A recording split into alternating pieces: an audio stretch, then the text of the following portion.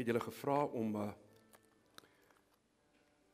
ek ek ek wil glo die van julle wat die SMS gekry het of die WhatsApp of op Facebook het die 15 verse gaan lees want ek gaan dit nie vir jou lees nie. Ek gaan net die kernverse wat ek gebruik uit hierdie 15 verse gaan ek lees. Ehm um, Die tema van my boodskap is vanmôre Bethesda wat beteken huis van genade. Huis van genade. Die van julle wat in Israel was, ek glo julle was by die bad van Bethesda, hy bestaan vandag nog.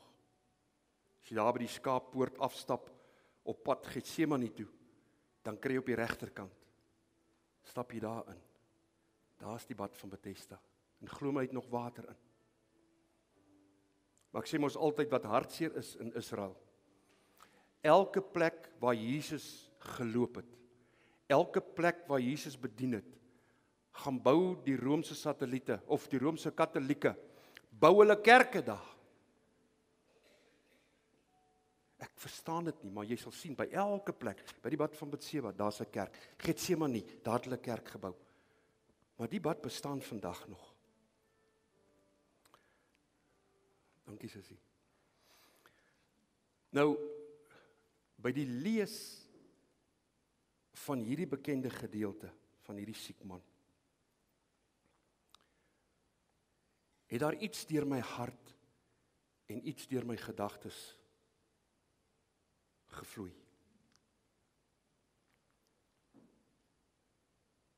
Ek het besef soos wat hierdie verlamde man was daai 38 jaar. Toe besef ek skielik dit is hoe baie van ons vandag is. Dit is hoe baie van ons vandag is. Ons voel moeg. Hierdie man was moeg. Hy was moedeloos. Hy was teleurgesteld. Kragteloos. Soekend. En ek besef van my hart, Here, dit is so baie mense wat vanmôre hier gaan sit is in daai posisie heidaglik. Hulle voel moeg. Hulle voel kragteloos. Moedeloos. Teleurgesteld. Jan, hierdie mic is so sensitief. Hoor jy hom asseblief? Baie mense wat hier sit vanmôre is soekend. Jy's dalk ongelukkig. En hierdie goed wat ek nou opgenoem het, maak jou noodwendig verlam as mens. Jy voel half verlam. Want hierdie goed is net te veel.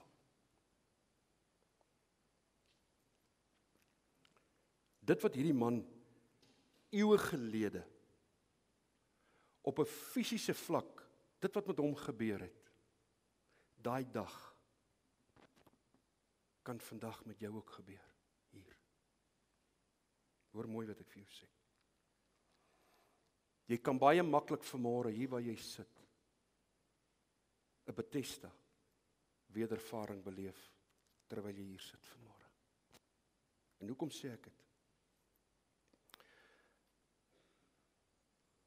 Want ek trek dit deur want ek ek besef daar waar hy opgestaan het en sy goed gevat het. Jy kan vanmôre dieselfde beleef net op 'n hoër vlak en diep geestelik kan God jou vermore in jou verlamde omstandighede kerk laat opstaan. Amen. Hy kan. Kom ons kom ons lees vers 2 en 3 en 5. By die skaappoort in Jerusalem was daar 'n bad met die Hebreëse naam Bethesda.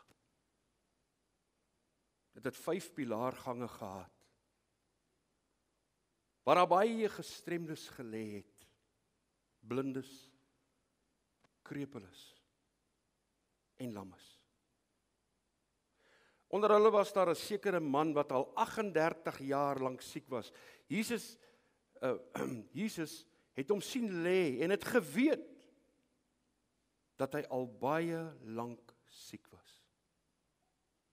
Toe vra hy vir hom: "Wil jy gesond word?" Kom ek lees vers 9.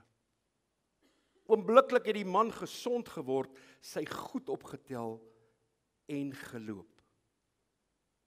Dit was 'n Sabbatdag. Nou Dis wonderlik as jy gaan kyk dat Bethesda Hebreëse naam beteken huis van genade. Huis van genade. En dit is presies waar Jesus hierdie man gevind het. Was by die huis van genade. En so het ek en jy ook vanmôre 'n huis van genade. Daar by jou eie plek waar jy bly. Dit kan ook 'n huis van genade wees. Hier waar jy vanmôre nou op hierdie oomblik hier sit. Ons is so bevoorreg om nou op hierdie oomblik, op hierdie minuut hier in 'n huis van genade te mag wees. Amen. Ja. Huis van genade.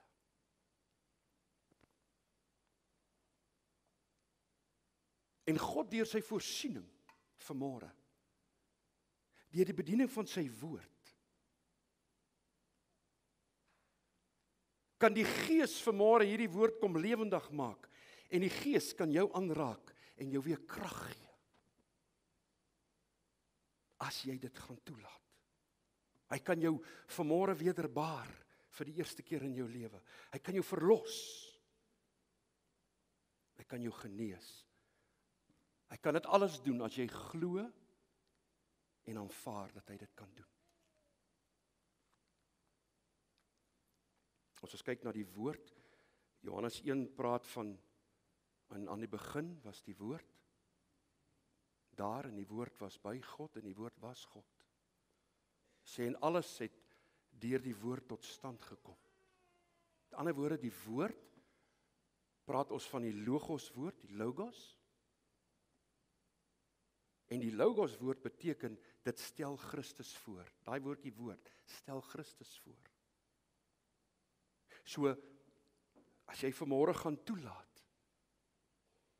dat hierdie woord lewend word lewend gemaak word dan word hierdie woord skielik die rema woord wat ons van praat. Ander woorde Christus ons laat vanmôre toe dat die persoon Heilige Gees hierdie woord laat manifesteer in jou en my lewe. Maar Jesus kom hy vind hierdie man in die huis van genade. Tydens 'n feestyd, met ander woorde dit was 'n spesiale tyd waar almal Jerusalem toe opgetrek het. Dit was 'n feestyd. En dit gegaan rondom aanbidding. Ek sê weer. Nou is ek en jy vanmôre ook hier in hierdie huis van genade, Bethesda. Nou hier waar ek en jy nou is. Waar jy nou sit op hierdie oomblik en luister na my. Is jy uit die gejaagdheid van die lewe daar buite? Ek hoop so. Ek hoop dat jy sal toelaat dat dit dat dit net kan stil word hier binne in jou en dat jy net jou hart kan oopmaak vir môre. Hoor vir my wat ek vanmôre vir jou sê. Ons is almal op die regte plek nou. Ons daarom vier wat sê amen. Die ander wil ek sê weer, ons is op die regte plek vir môre. Dankie tog.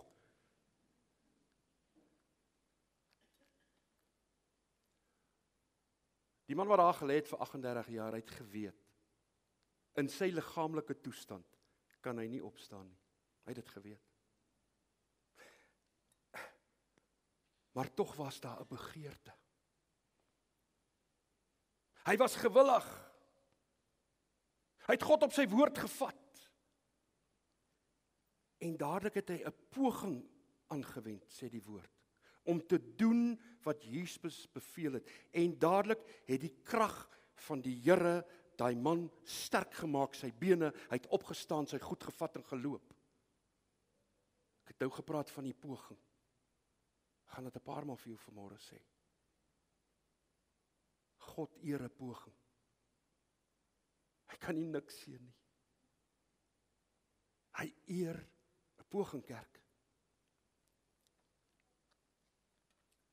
En en so wil die Here vanmôre aan elkeen van ons hier kom sê.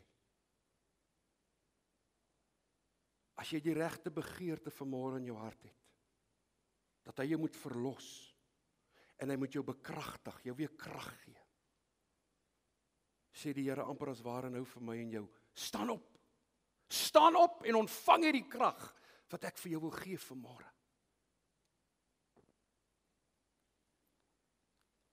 En hoor wat ek nou vir jou gaan sê. Onthou een ding. God se beveelings is ook God se beloftes. Kan ek dit weer sê? God se beveelings is ook God se beloftes. As hy vir jou sê jy moet dit doen, moet jy weet dit is ook sy belofte, hy gaan dit doen. Hy gaan dit doen. Ek besef maar dat God sal jou nooit iets beveel as mens wat hy nie gewillig is om te doen nie, hoor. Nooit. As hy jou iets beveel, sê dit want hy weet hy gaan dit vir jou doen. So as ons van ons kant af gewillig is en 'n begeerte het om 'n poging aan te wend om die Here op sy woord te neem, sal God sy goddelike krag deur jou laat vloei. Jy sal dit beleef, kerk. Jy sal dit beleef. En ek wil vanmôre vir jou kom sê wat 'n voorreg. Wat 'n voorreg het ons dat ons weet God kan ons vanmôre opnuut weer herstel hierdie hierdie hierdie kragteloosheid, hierdie hopelose toestand wat ek in is. Weet jy wat? God kan dit vir jou herstel. God wil nie hê jy moet so lewe elke dag in die kind van die Here.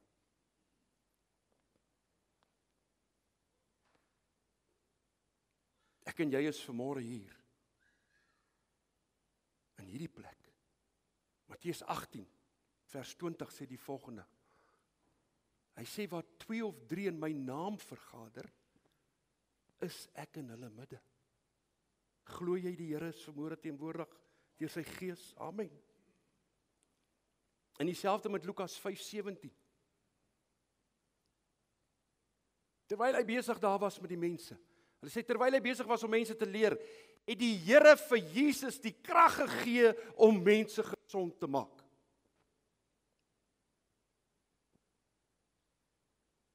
gebeur vandag nog.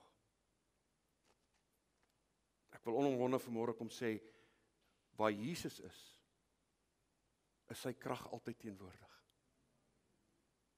Waar hy is, is daar krag om te genees, om te verlos, om te wederbaar, om te herstel. Dit is wie Jesus is.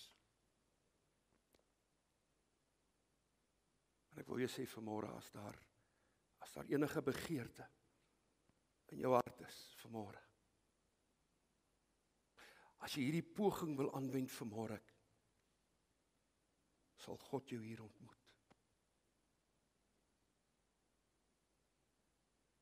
En ek besef dit vanmôre, Elisabeth, jy kan vir my gaan speel. Ek besef net vanmôre een ding.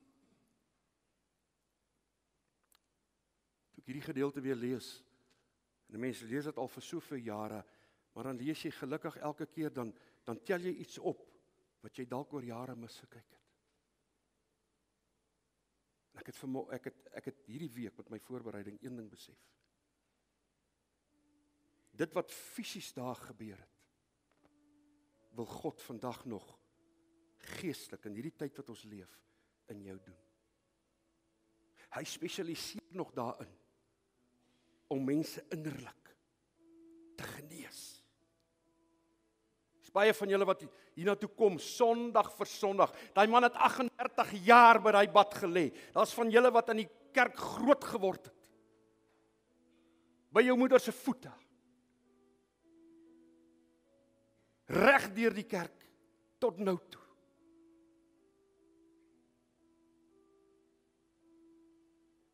En daai man het vir Jesus gesê: "Meester, elke keer wanneer hierdie water geroer word en ek wend 'n poging aan om te beweeg, dan gaan iemand voor my in." Dalk sê jy ook vanmôre, wie wat ek het al baie keer die Here vertrou. Ek het al baie keer die Here vertrou om om om nader te beweeg aan hom. Maar dan kom ek nie so ver nie. Hier's baie van julle wat vanmôre hier sit as gevolg van hierdie geestelike toestand wat jy in is. Hierdie hierdie kragteloosheid in jou gees, hierdie moegheid, hierdie hopeloosheid.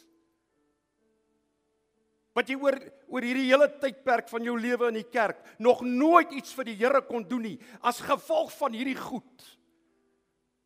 Jy hoor die water roer. Jy hoor mense ons vra, kom raak betrokke. Help ons dat ons kan siele red. Help ons dat 'n verskil kan maak, maar jy lê daar want jy's jy's kragteloos. Geestelik. Here sê vanmôre, weet jy wat? Ek gaan die water vanmôre net roer. Ek is hier om vanmôre jou aan te raak, sê die Here deur sy gees. En dit is vir my 'n spesiale oomblik vanmôre. Soos daai man opgetel is of gesê is om op te staan met sy goed. Hoor vir my, daar's mense van julle wat vanmôre hier sit wat 'n afspraak met die Here het hier vanmôre. Jy het dit nie eens geweet nie. God wil jou vanmôre laat opstaan. Uit daai verlammende geestelike posisie waar jy dalk vir jare jouself aandryf.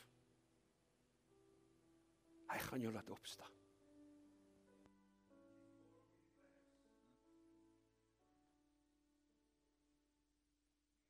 Batterye, ek praat om dood. O, hier is hy nou rooi.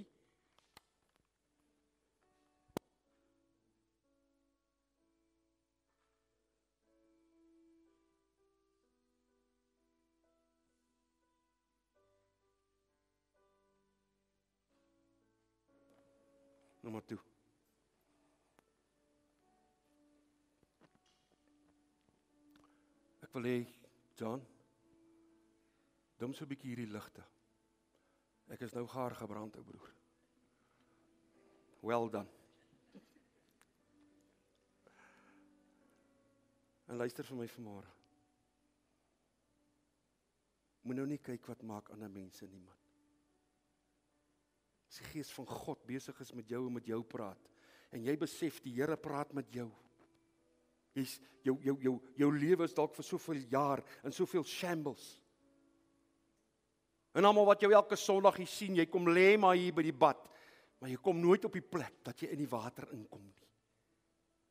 As die Heilige Gees vanmôre met jou praat oor jou geestelike moegheid, hierdie kragteloosheid, hierdie moedeloosheid, hierdie hopelose situasie waar jy is. Here sê ek gaan jou ophelp vanmôre. Maar dit kos 'n poging.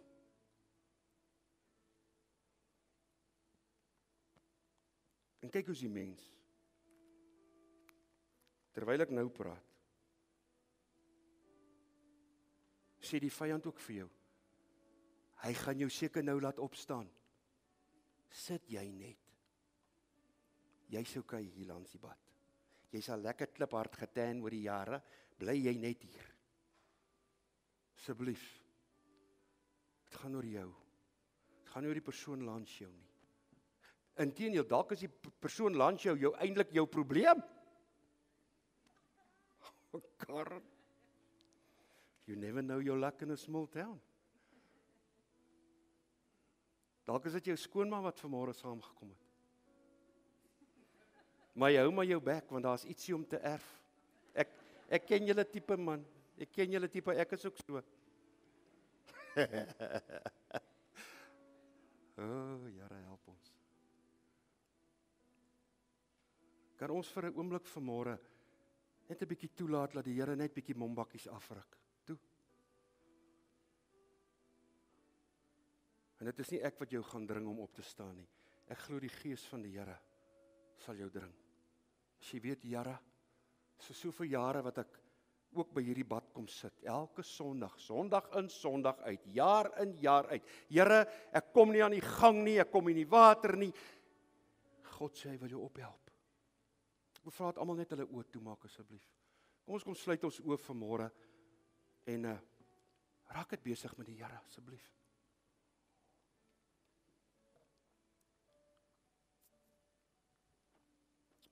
Halleluja Terwyl ons so in aanbidding sit, ek gaan sommer net so ou liedjie vir julle sing voordat ek aangaan met die bediening. Maar kom ons bly bidtend voor die Here. En ehm um,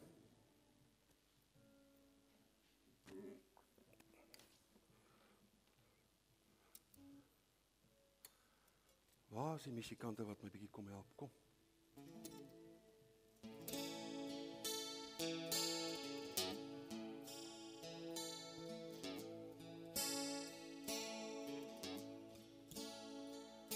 and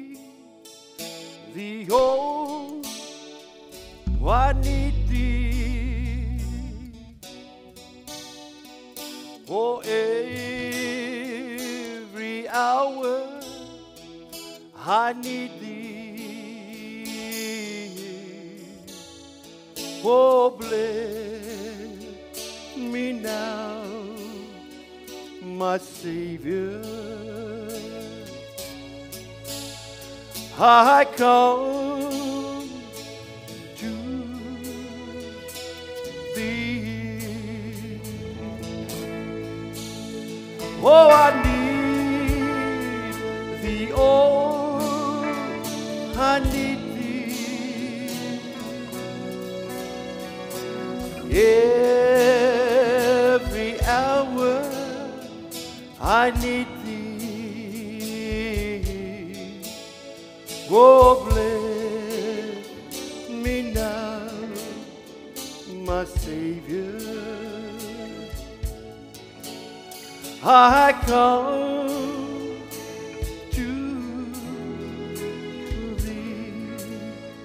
Bly net aan bidding, raak besig met die Here.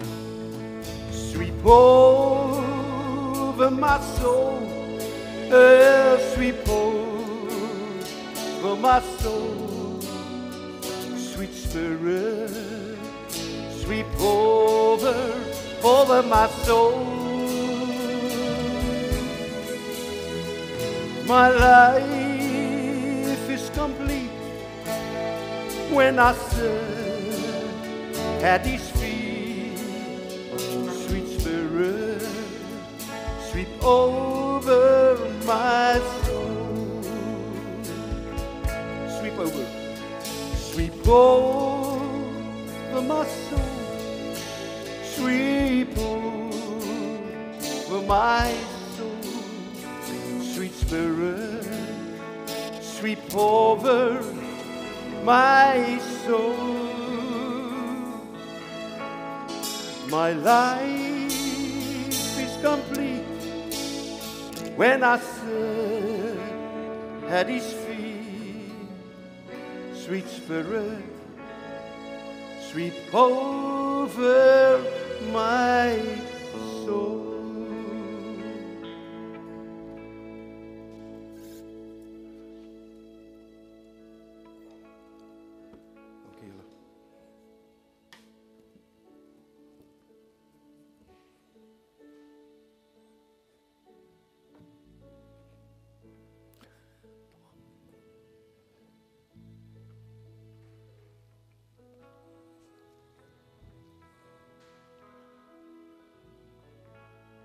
As jy vanmôre nodig het dat ek saam met jou hier voorbid.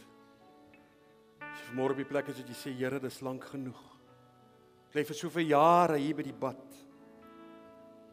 Maar Here, ek het nog nooit ingeklim nie want ek sukkel. Here Jesus wil vanmôre deur sy gees wil hy jou aanraak en jou ophelp. En glo vir my, hy doen dit nog steeds.